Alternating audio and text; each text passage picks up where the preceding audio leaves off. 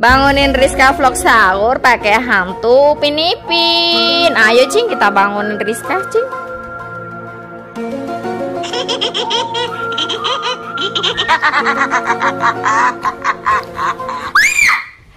Mbak bangun Mbak sahur Mbak.